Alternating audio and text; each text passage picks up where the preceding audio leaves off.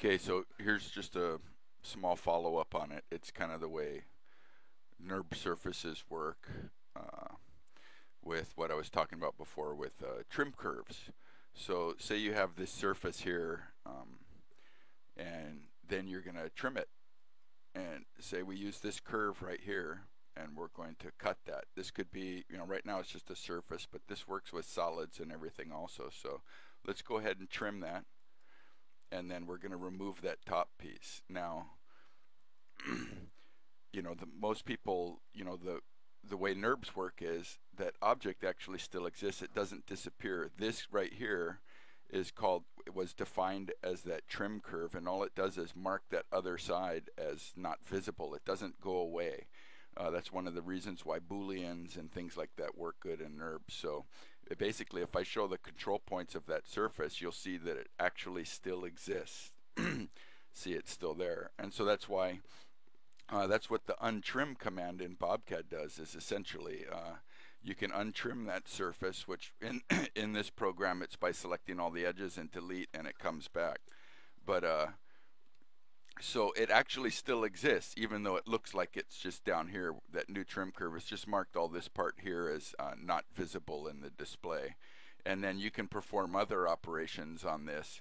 Like now I can extrude that out and it's, you know what I mean? It's still, uh, it's just that little piece. However, that underlying uh, geometry, the untrimmed surface, still actually exists. So if I export this um, in like IGES, which is kind of like a general format, not necessarily the smartest solids, like you know, SolidWorks will have mechanisms for keeping that untrimmed surface around for a long time uh, and perform other operations in fillets. Uh, when you start getting into formats like IGES and stuff, it starts dropping some of that off.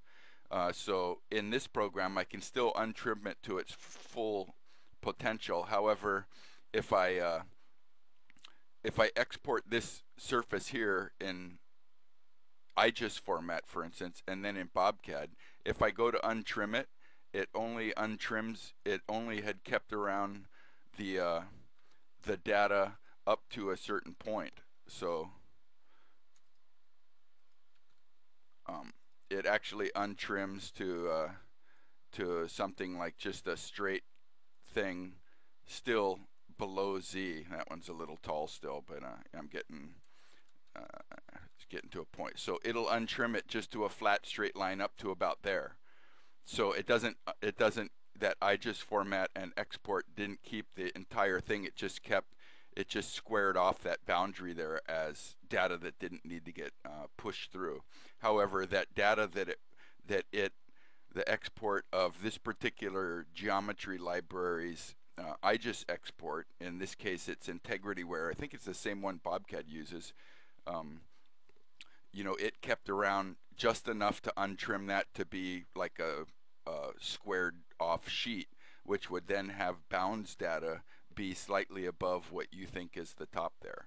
But in this program, you know, if we were to do bounds data measurement, then uh, then it would actually go all the way up to the top of what you see there, which is way up here. This is data that's kept, so the program has to know that that's there.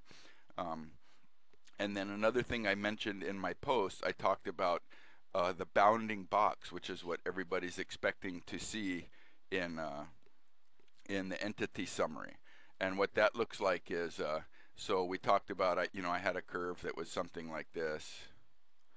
Uh, let's just say that that was it. Let's move it up just a little bit so that, uh,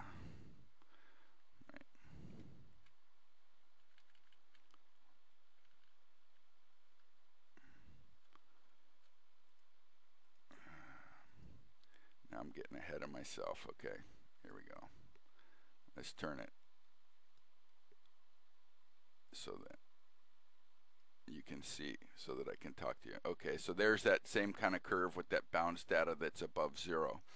And uh, BobCAD's entity summary is taking that all that data. However, there's other, uh, uh, what they're looking for was what I mentioned was bounding box.